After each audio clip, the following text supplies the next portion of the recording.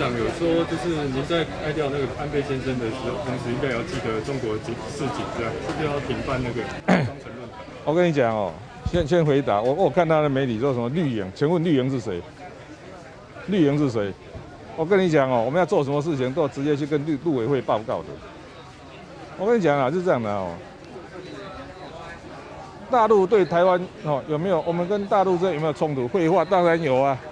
他是不是关系不好？当然不好啊。他两边常常，我这样说，我我每次有时候跟那个大陆有关的人士抱怨说，哎，立马被停台湾的农产品，立马修早一点通知好不好？哦，你你至少要再讲的让大家心服口服。那两天后跟人家讲，三天后要停掉，我说这个大家，就算你有理，大家都很不爽。他说。所以这样的哦，两边哦，就是因为关系不好才要交流哈，这这是第一点。第二点，哎，你们不能，哎，台北市要办什么双城论坛，拜托，每一样都是有去跟陆委会报备的哦。你要是陆委会说不办，你就陆委会出来讲说啊，不准办，行政命令。你们不能，把什么都知道，然后又又又又放放狗咬人，这我就非常生气了。